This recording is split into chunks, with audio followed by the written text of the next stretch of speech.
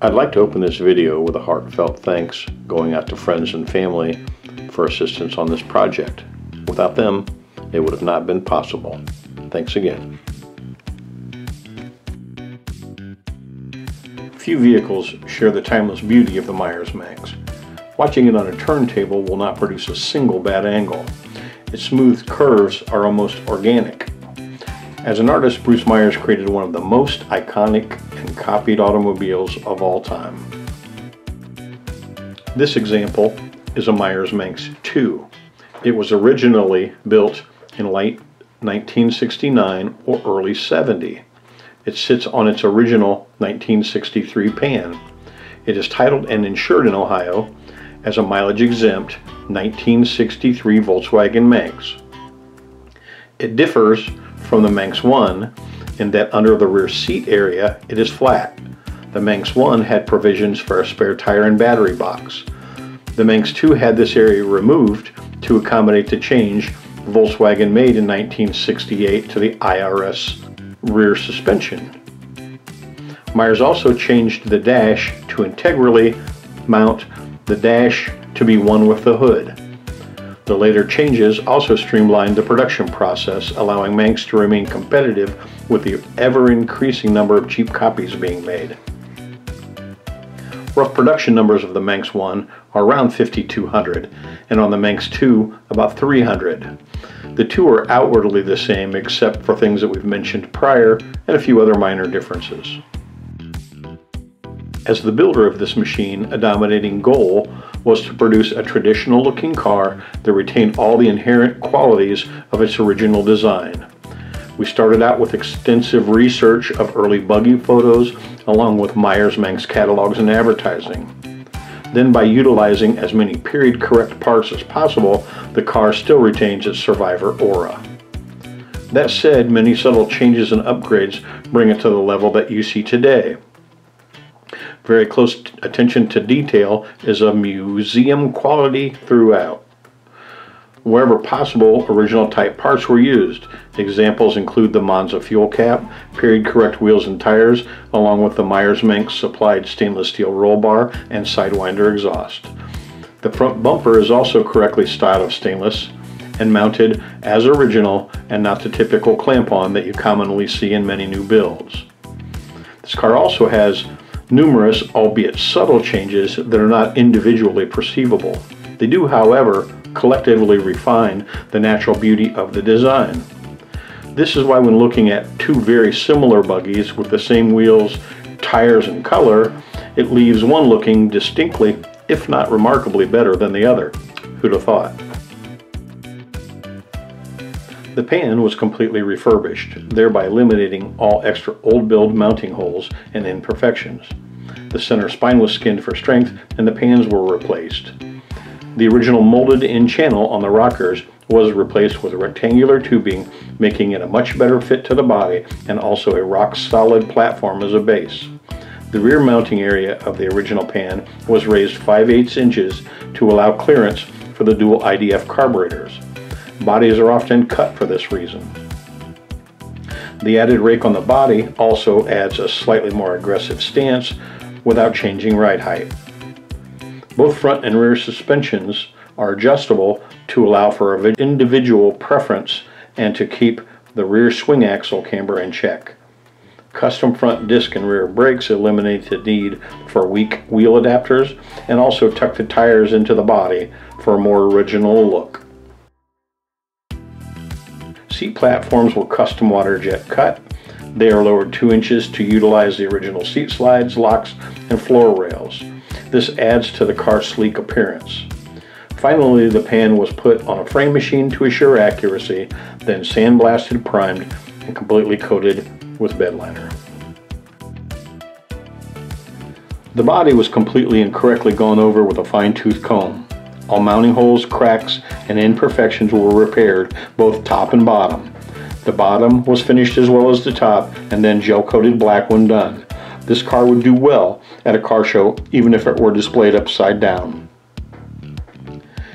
Careful attention to windshield angle has always been one of my pet peeves as this is one of the first things that can look wrong on a Manx.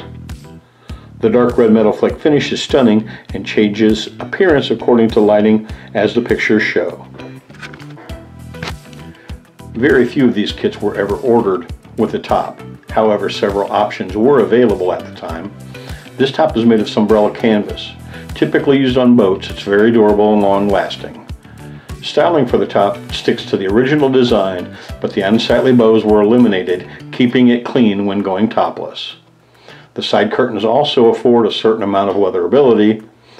A rarely added option would be the tonneau cover. It makes a nice storage area when traveling. Logan Upholstery was Bruce Meyer's supplier of choice. They designed and made the interiors for these buggies. This interior copies the Logan design patterns right down to the correct number of pleats in the seats. Another feature not available back then would be the side interior panels. They're designed to complement the original upholstery and add much needed pockets to the car. Two under seat snap-in packs include roadside tools, a tire repair kit with inflator. Also included in the packs are common replacement parts such as cables, points, and a tow strap. This Manx is ready for the long haul. Exterior lighting is traditional early Volkswagen with the rear being rechromed originals. Gauges include the GPS speedometer, oil pressure, voltage, fuel, and tach, all working properly. It also has a low oil pressure and voltage light along with turn signal and bright indicators. The tach also includes a programmable shift light. It has not been programmed or needed, in my opinion, Original black old style paddle switches complement the polished aluminum and burl wood dash.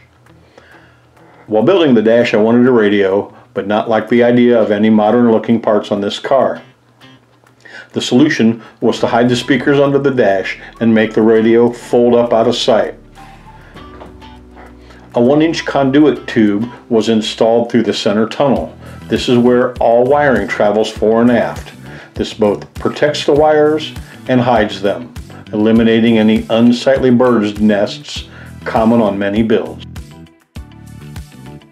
The suspension is all new, including the steering box, tie rods and ends, steering damper, bushings, seals, zerts. Link pins were also replaced, rebuilt. All brake hardware is new, not rebuilt, and that includes the master cylinder and all of the lines. The 1776 engine is a complete rebuild utilizing new cylinders, pistons, rods, heads, etc. It's a dual relief block with added free flow high capacity oil pump and filter. It's been balanced and has a Crower Performance cam. The dual IDF carburetors have been painstakingly tuned and jetted for this specific configuration. Its estimated 80 horsepower make for some spirited driving capabilities in a 1,350 pound car. The original Meyers Stinger exhaust is quite throaty but not overbearing. The dual IDF carbs add a very dramatic addition to the sound. They create a unique howl on acceleration and a turbo-like whistle between shifts. You can hear this in the driving videos of the car. It's very distinctive and in my opinion eliminates the need for a radio. The transmission is a Volkswagen 4-speed swing axle. It was professionally rebuilt and updated with new first and second gears, allowing the new style synchros to be installed.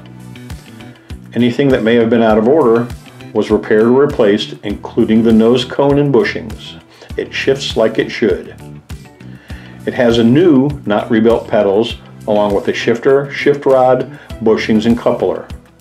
One should note, however, when I installed the original shifter, it was for appearance. The newer short shift models are far superior, but not period correct. Axle bearings, bushings were also replaced along with the clutch arm, bushings, and spring. Flywheel was turned and balanced and new throwout bearing and clutch were installed.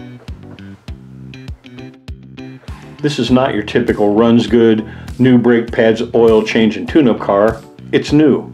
If it moves, and in many cases does not move, it's new, with very few exceptions. Extreme attention to detail was carried out throughout the entire assembly process, and no expense was spared. It currently has 265 miles on it and has been dialed in.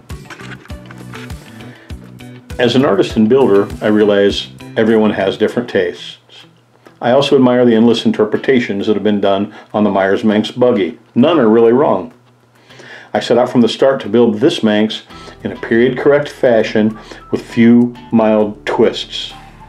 Much time was spent referencing old build photos, along with original catalog and magazine photos. Again, the ultimate goal was to produce an accurate buggy that did not stray away from the original concept, be completely rebuilt, but still appear as a survivor. I wanted it to be capable of happily sitting among some of the best Meyers Manx buggies ever built. I built this car to impress myself, not anyone else. I hope it shows.